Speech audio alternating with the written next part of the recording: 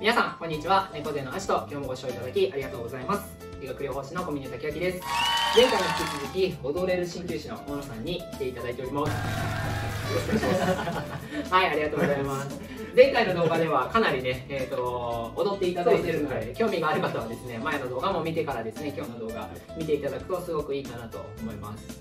前回はあれですねその猫背と薄毛の関連性みたいなところをちょっとこう理論ベースで大野さんにお話をいただいて、はい、今日はそれを解消していく実技編ということで、ね。はい、大丈夫です大丈夫です、今日はどんなこと？今日はですね頭皮頭皮に栄養をいかないと薄毛になりやすいので、うんうん、頭皮に栄養をいくためのエクササイズを。エクササイズ。を、はい、はい、お伝えしたいと思います。はい。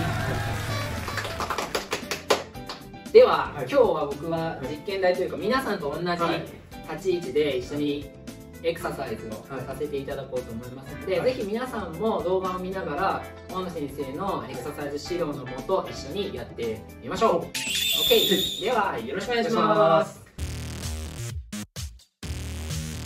皆さん頭皮の栄養って聞くと頭皮マッサージってねイメージがついてけども、頭皮だけやってればいいかというと違います。なるほど。頭皮にちゃんと栄養をいくためには肩とか顔とかの血液の循環が大事です確かに、はい、心臓がここですもんね。で頭だから、はい、ここ結んでるラインでねせき止められてるはい、アウトっていうことですそうですね、はい。当然心臓から全身に向かって血液送られてますけども順番があるんですね、うん、心臓肩首みたいな顔、最後頭皮に行ってまためくりめくって心臓に帰るわけですがここの循環を良くするためにはやはり最初は姿勢です、はい。このチャンネルではですね、もうまさにです。はい。はい、ぜひお願いします。大野流の姿勢改善をぜひ。あるんです。頭皮、頭皮の血流を良くする姿勢改善と肩の運動をやっていきたいと思います。よろしくお願いします。お願いします。両手を後ろに組んでください。ちょっと見えるようにいきましょう。はい。組みました。今度はですね、胸、普段硬くなりやすい胸の筋肉を伸ばしていきます。伸ばすときは2つある肩甲骨を背骨に向かって近づけていきましょう近づけていくと伸びてる感じはあります。かはいあります。で伸びてる状態を感じながら10秒間止めていきます。いきます。1 2 3 4 5 6 7 8 9 10はいいいです。今度は反対です。今伸ばした胸の筋肉を逆に縮めていきましょう。っていうのが一つともう一つ肩甲骨を2つありますけどこれを引き離していきます。引き離すつもりで、えー、ストレッチしていきます。両手を組んでいただいて両手を肩に回していきましょう。肩に回していくと余裕のある方はですねこの肩のこの肩甲骨内側に届きますかね。はい。できる範囲で変わりませんができる方はこのまま指を引っ掛けていただいて肩甲骨2つを引き離すつもりで曲げていきます。鼻は少しお辞儀していきましょう。でこの状態で10秒間止めていきます。1 2 3 4 5 6 7 8 9 10体を起こしていきましょう。楽にしてください。今やった運動の大事なところは上の筋肉です。上の筋肉と肩甲骨周りの筋肉のストレッチです。上の筋肉を伸ばしていくのが一つ。ですね。はい。で今度は逆に上の筋肉を縮めていきましょう。これやるだけでもですね目の筋肉の柔軟性も養えますし肩の筋肉の柔軟性も養えます、今度はですね肩を大きく動かすようなことです、はい、肩周り皆さんですね筋肉がいっぱい密集してるんですね。密集していればゆえにですね凝りやすいんです。そうなってしまうと困るのでこの筋肉を大きく使って、えーと、血流をね良くしていきたいと思います。早速じゃあ皆さん肘を曲げましょう。肘曲げてご自分の肩触れますかね、はい、触れますね。はい。でこの状態から円を描くようにして10回回していきましょう。大きく回していきます。2 3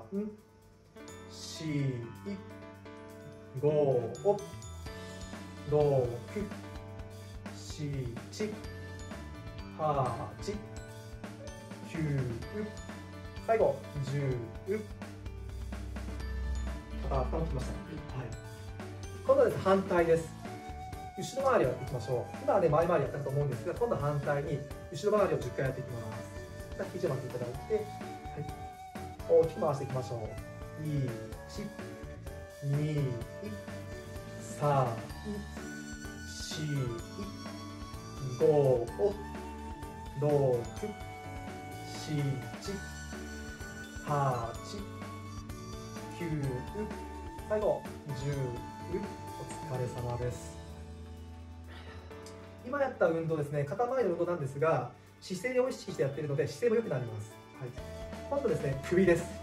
肩、首、大事ですね。ここもいっぱい機会ありますからね。はい、じゃあ今度は親指を立てていきましょう。立てましたら自分の顎、顎をそしたらですね、押していただいて、顎を持ち上げていきましょう。持ち上げてこの後頭部、後頭部がこう背中につくイメージですね。あくまでもイメージです。この時にですね、姿勢が反りすぎないように、首だけを意識して顎を上げていきます。ゆっくりと上げていきましょう。でここの前側の筋肉が伸びてるなって感じが大事です。伸びてる感じあります？10秒間やっていきます。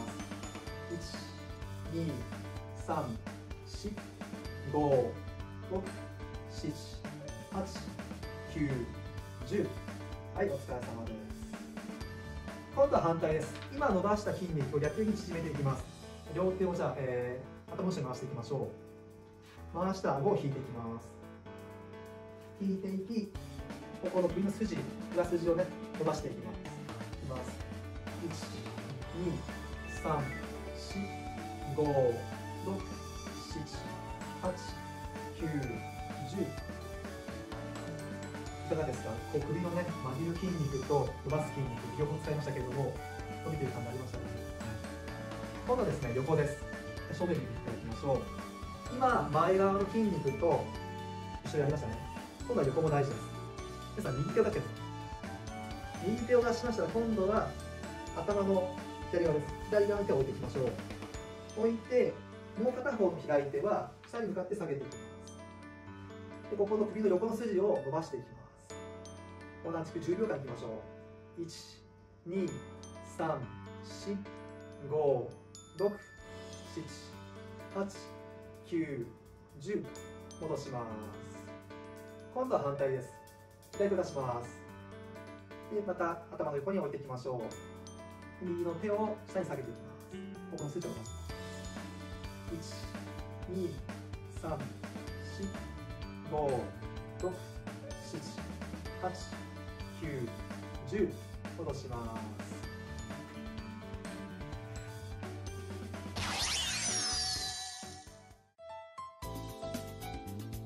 はい、今度はですね、顔です。顔の表情筋を良くすることによって、頭皮の血流が変わってきます。